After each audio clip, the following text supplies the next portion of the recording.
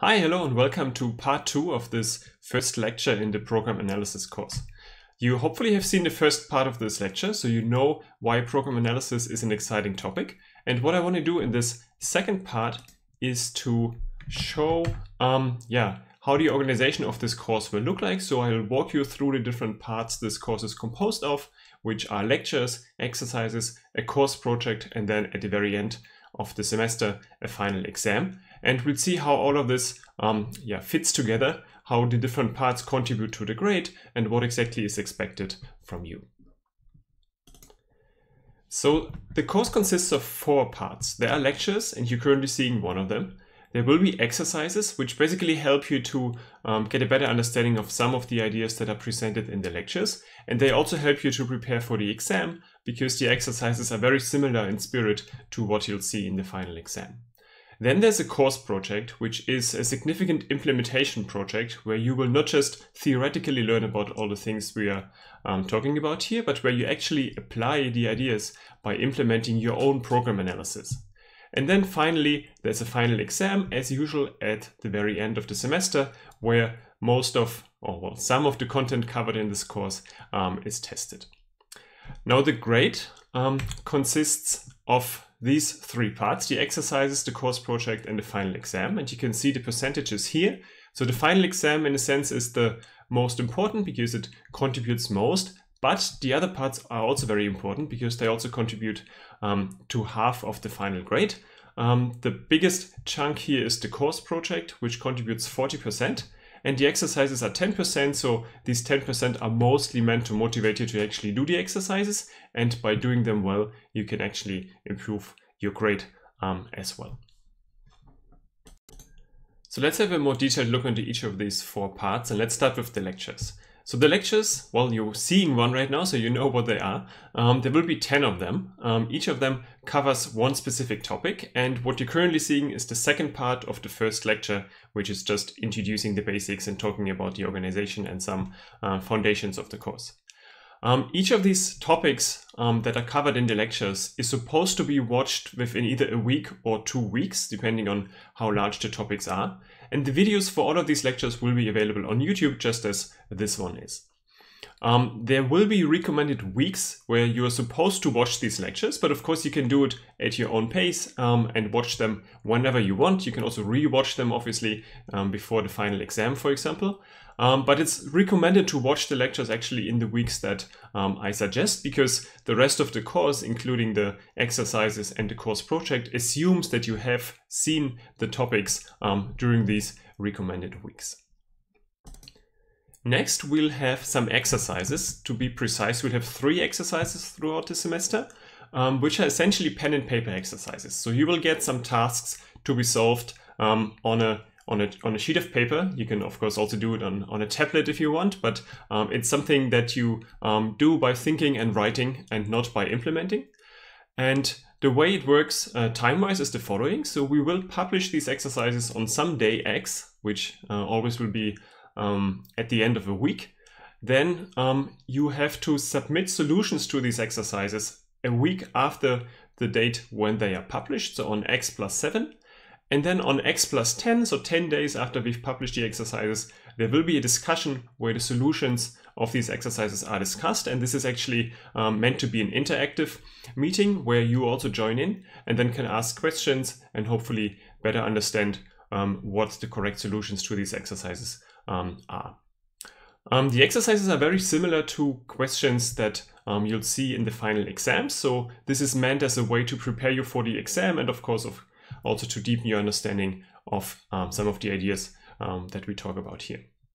The exercises are graded. Um, as you've seen, they in total contribute 10% to the overall grade. So you uh, are highly encouraged to actually submit these exercises on the submission day. But of course, you do not have to do it. If you don't do it, you will just lose these 10% of the points. Um, so it's not mandatory to uh, submit them, but of course, highly recommended if you want to get a good grade.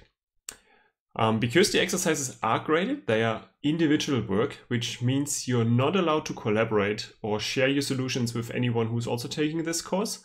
Um, so if we find any um, students who happen to submit very similar exercises, this will be punished as um, yeah, as cheating in an exam would be punished, which typically means you fail the course, and there may also be some other consequences. Besides the exercises and the lectures, we'll also have a course project. So the idea of the course project is that you're not just learning the theory of program analysis and know how to um, deal with program analysis on paper, but you will actually implement your own program analysis, which is a great way to really understand um, what's going on. So in this course project, you will design, implement, and evaluate a program analysis. Of course, you do not do this from scratch, but this will be based on an existing framework. Um, to be more precise, what you'll do, and this may not be fully clear to you yet, but hopefully it is in a few weeks, you will implement a data flow analysis for JavaScript code, and this will be done based on the Google Closure compiler. Um, if this sounds scary, don't worry, because you'll hopefully understand what this means in a few weeks. Um, the takeaway message is that um, there is an existing tool, the Google Closure Compiler, which already implements most of what um, you'll need, but you have to fill in a few bits here and there to actually make it work. Um, the course project is an individual and independent project, which means, again, you should work on it on your own. You're not allowed to share your solution or really collaborate um, with other people. And independent means that you'll work on this mostly on your own.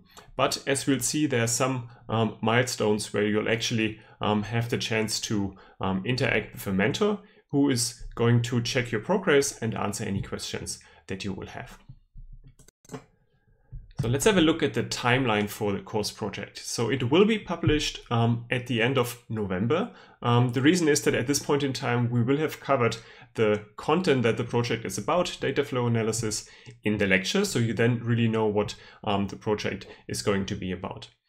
Um, at the end of the semester on February 12th, um, you have to submit a project. So this is a strict deadline and what you'll have to submit here are three things. It's your implementation, obviously, um, some documentation of the results that you get, and a report that describes what you've done, what you found, maybe also what did not work, and any limitations you may be aware of. And then in the first week, just after the end of the official lecture period, we'll also have some oral presentations of these projects where each of you will give um, a very short presentation, about five minutes, on what you've um, done in the project and how you've addressed this problem, followed by some questions by us. Um, during the semester, you'll also have three progress meetings, and these meetings are meant to um, check that you're actually making progress um, in this project and to answer any questions you might have. All of this also contributes to the grading. So let's have a look at how this will work. So these percentages here are percentages of the overall grade. So remember that the course project in total contributes 40% to the grade, and these 40% are composed of 4 times 10%, um, which um, are for the following. So one 10% um, uh, chunk is for the progress meetings and for the final presentation. So the uh, mentor mentor that um, you'll have the progress meetings with and, and me during the presentation will basically check how well you're doing, um, what your progress is, and this will contribute 10% to the grade. Then there's another 10% which will be for your implementation. So this is um, basically looking at your code, um, seeing whether it makes sense, whether it executes um, the way it's supposed to execute, and um, also whether it's somewhat understandable. So if you write completely cryptic code, uh, you won't get many points for that. But if your code is doing well and understandable, then um, you'll get these points. Then there are 10% for results, which basically means that we will execute your code and um, try it out on a set of test cases to see how it behaves. And if it behaves as expected, so if your program analysis is really doing what it's supposed to do, um, then you'll get these points. And then finally, another 10% are for the written report. Um, so this is to make sure that you're able to also explain um, in English what your um, implementation is actually doing and why it is doing um, what it's doing, and maybe also what it is not doing, so any limitations it might have. Let me just get back to this point of academic integrity for a moment. So basically, don't cheat. Um, both for the exercises and for the course project, any work that you submit must be your own. So this contributes to the grade. And as in the written exam, you have to work on your own because otherwise this is uh, considered cheating. So if you work in some kind of group or if you um, yeah, commit any form of, of plagiarism, um, like copying code from someone else, maybe from a, a, solution that someone has submitted in one of the previous years, um, or any other kind of um, dishonesty, then this will be punished as cheating during a final exam would be punished, which means you'll fail the course and um, this may um, also lead to other consequences yeah, related to your studies. You are, of course, encouraged to discuss the problems that we ask with your peers, and you can also do this in the um, Ilias forum that you've maybe already seen and that I'll talk about in a minute. Um, but you should not share or reuse any part of a solution. So you are allowed to ask questions, you are allowed to give answers as long as you do not give um, out the concrete solution um, or share specific code, for example. All right, so now we've talked about these four parts that the lecture is composed of. Let's now have a um, slightly deeper look at the actual content that we'll cover in the lecture. So as I said, there will be 10 blocks of lectures and they are listed here. So today we're in the first one, which is Introduction and Basics, and then there will be nine more of those. Um, the first two, Introductions and Basics, what you see today, and then what follows next, operational semantics, are basically foundations um, of program analysis. And the rest of the course builds on that. Um, so, so it's important to get a good understanding of it. Then um, we'll have some lectures that are mostly about static analysis, so analyzing the source code of programs without really executing the program. In particular, we'll have this lecture on data flow analysis, which is also the basis of the course project, We'll also look into um, call graph analysis, and you'll see what this is once we are there. And then there will also be a lecture on slicing, in which we'll do not only cover static analysis based approaches, but um, um, a, a good share of them. Then in the middle of the course, we'll have some lectures on uh, input generation, which is basically taking a program and trying to make it run by generating inputs that um, cover most parts or interesting parts of the code.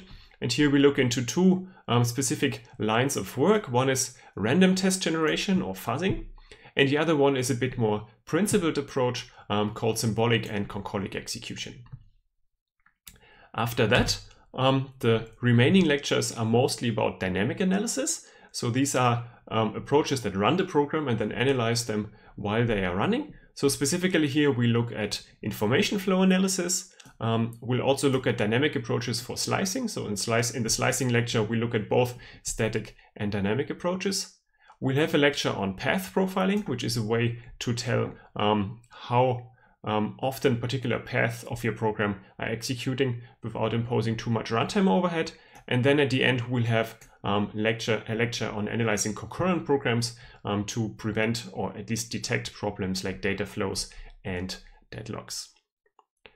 So looking at all this content, um, let's also see how this relates to the other parts of the code uh, uh, course. So this is um, the structure of the lectures. Um, some of these um, lectures are directly relevant for the exercises, namely those that you can see here. So the first exercise will be on operational semantics. The second exercise will be on data flow analysis. And then the third exercise will be both on information flow analysis and on slicing. The course project um, will be mostly about data flow analysis, but of course understanding the other parts of the lecture is also very helpful um, for the course project, but um, the core of it is really about data flow analysis. A common question students are asking is whether there is a book or a script that covers the material of the course. And unfortunately, the answer is no. There's no single book or single script that really covers everything um, that we'll talk about in this course. Um, no one has written this book yet. Uh, maybe if I have too much time, I'll do it someday. But right now, um, it's um, as it is for many master level courses. Um, so there are different resources and different uh, kinds of material that you um, are encouraged to look at. So one of them are obviously the slides of the lectures and, and the handwritten notes that I'm producing during the lectures, which will be available along with the lecture videos.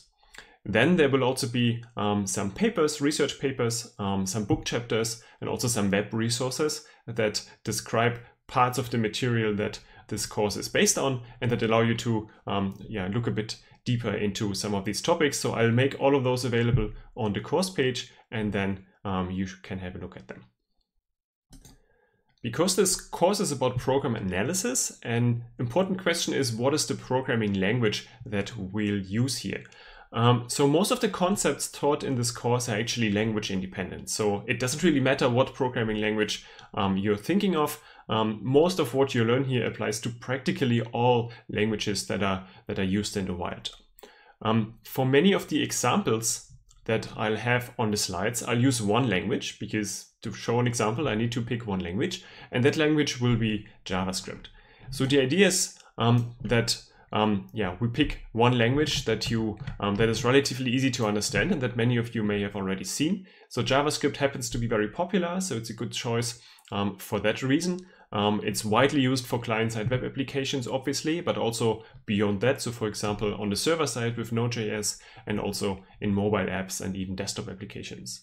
Um, at the same time, JavaScript also comes with very interesting research challenges, um, and my group and others have worked on addressing some of these challenges, so it's also an interesting language from that perspective. The course project, as I said earlier, will also be um, um on JavaScript, so there are two languages um, related to the course project. One is the language in which you'll write your program analysis and in which the framework that your implementation builds on is written. And that does um, happen to be Java. But then the language in which the code is written that your analysis will analyze, that is going to be JavaScript. So um, you'll basically write Java in order to analyze um, JavaScript code.